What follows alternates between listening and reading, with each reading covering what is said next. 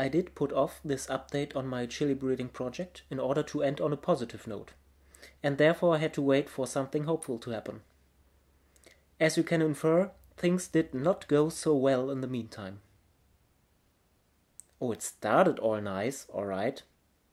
My three selected individuals grew and grew and flowered beautifully. Many flowers per node, just as I like it. However, they grew too much and became top heavy.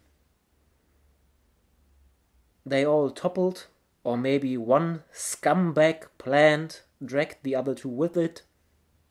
This happened two times, and the second time they snapped. And they had such nice flowers. How can I put my feelings most eloquently? Oh, I know.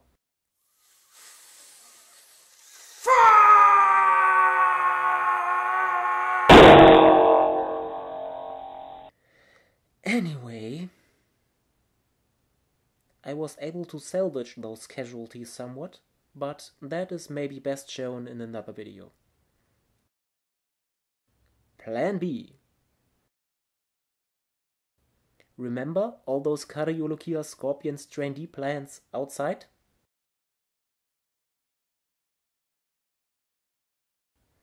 Specifically, the one I banished for lack of space? Welcome back in, buddy.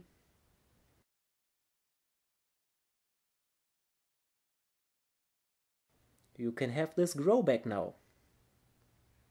Those two germinated outside. Well, now they are snail food. The grow back is all yours.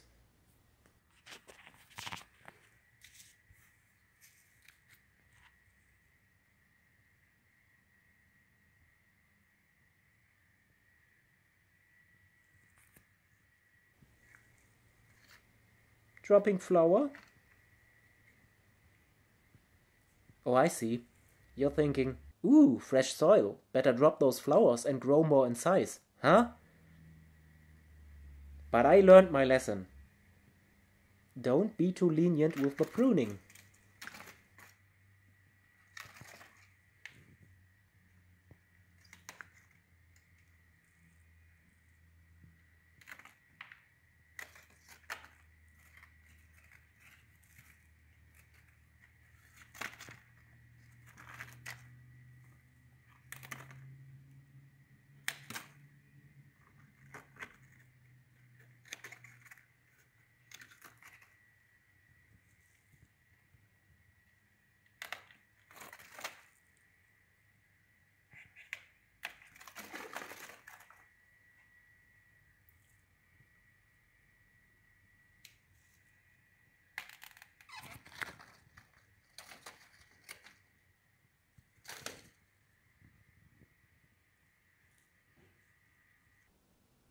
The next wave of flowers did almost immediately produce fruits, as this hasty early morning shot shows.